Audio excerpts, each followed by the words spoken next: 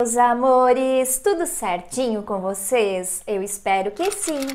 Eu sou a Jéssica e no vídeo de hoje eu vim conversar com vocês a respeito do eSIM Vivo, chip digital. Como é que funciona? Como faz para ativar? Porque eu sei que muitas pessoas têm essa dúvida, inclusive comigo eu vou contar a minha experiência para vocês entenderem um pouquinho mais.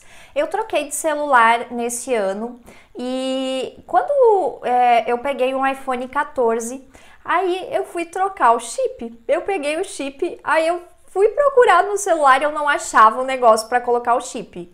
Eu pensei, mas e agora? Como é que eu faço? Aí que eu fui entender que a partir do 14, do iPhone 14 e também outros celulares, a exigência é que seja um eSIM, um chip digital. Aí eu pensei assim, bom, por ser digital, deve ser um negócio simples de fazer, né?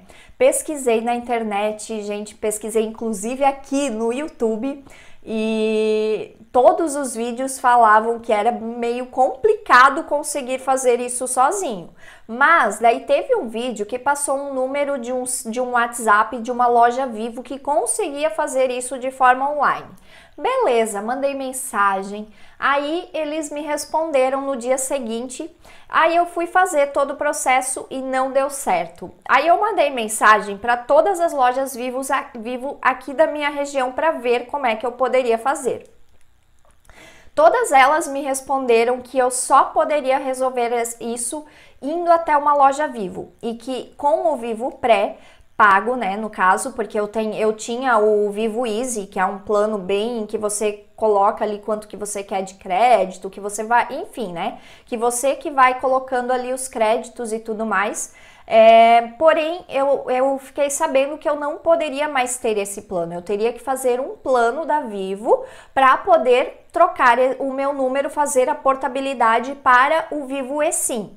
Porém, quando eu já gravei um vídeo falando sobre isso, muitas pessoas me falaram que não, que na verdade, se eu quisesse, eu conseguiria. Porém, gente, eu troquei de celular e quando a gente troca de celular, a gente quer logo utilizar o novo celular, né? Então eu tava angustiada porque eu queria utilizar o meu novo celular, então eu fui na loja Vivo e fiz um plano, tá? Na época eu peguei um plano de R$ 59,90, se eu não me engano, que era o plano mais barato. Só que a atendente, ela foi bem querida, viu, pessoal? Ela falou assim, ó, se você quiser, é, você tem que ficar com esse plano seis meses. É uma carência, né, que eles exigem.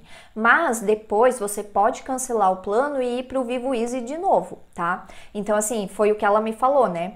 Eu já fechei os seis meses e eu, eu na verdade, tive que pegar outro, outro plano, porque aquele ali eu tinha que comprar pacotes adicionais, então não tava, assim, suprindo aquilo que eu precisava. Então, eu acabei pegando um plano um pouquinho mais caro, que é um plano de 110 reais, porém esse plano tem sido muito bom, não me deixa na mão, eu tenho internet à vontade, então assim, acaba sendo um plano muito bom. Inclusive, eu ainda não voltei para o Vivo Easy, talvez eu nem volte, porque eu gravei um vídeo falando sobre o Vivo Easy e muitas pessoas me falaram que o Vivo Easy não está mais compensando. Então eu comecei a pensar, é, talvez o melhor mesmo seja ficar com né, o plano que eu fiz por um tempo até né, eu querer assim, até eu ver que, ah, não, agora eu vou tentar voltar para o Vivo Easy, eu vou ver alguma outra opção.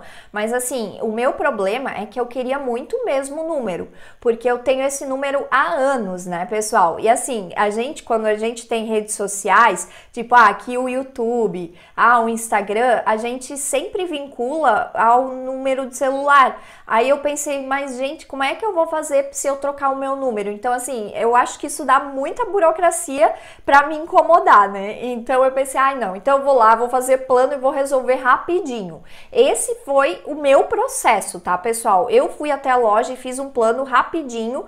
No outro dia, porque daí leva até 24 horas para o plano estar ativo e para a portabilidade funcionar, né? E daí foi o que aconteceu. A portabilidade se ativou em 24 horas então foi bem rapidinho até assim, e daí eu já podia usar o novo celular. Então foi o que eu fiz, tá, pessoal? Mas muitas pessoas falam que você consegue sim fazer, mesmo tendo um Vivo Pré ou algo assim. Eu acho que a questão é você encontrar uma loja que seja legal, assim, com uma pessoa que te atenda bem, com, né, que te explique realmente o que você tem que fazer. Mas o ideal é você realmente ir pessoalmente porque por WhatsApp acaba sendo meio complicado, tá, pessoal? É, eu acho que é, o Vivo eSIM, que é o chip digital, ele é muito positivo.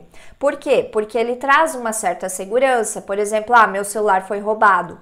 É só eu avisar a Vivo que eles cancelam o número na hora. Então, assim, é, daí eu consigo transferir o número depois para outro celular. Então, tem essa questão de segurança que é um pouquinho melhor, né? Traz essa praticidade. E também porque daí, ah, futuramente vou trocar de celular. Os próximos, daí eu já tenho chip digital, também facilita bastante, né, pessoal? Então, assim, eu acho que é algo legal, assim, né? Porém, o processo para você transferir um chip físico para o eSIM é que é um pouquinho burocrático, eu achei. Porque se há um negócio digital, deveria ter um processo que você pudesse fazer isso online, né? Então, assim, eu achei um pouco complicado fazer isso. Mas fora isso, ok, né, gente? Eu acho que é uma é um é algo bacana, assim, né? Só realmente precisava ser mais rápido e prático para fazer essa portabilidade, né, do chip físico para o eSIM. E é isso, pessoal. Esse foi o vídeo de hoje, tá? Eu espero de coração que eu tenha ajudado. Eu peço para que você compartilhe nos comentários a sua dúvida, a sua opinião, o seu relato, até para que a gente possa conversar e se ajudar referente ao assunto, tá bom? Muitíssimo obrigada pela sua atenção. Um super beijo a todos e até o próximo vídeo. Tchauzinho!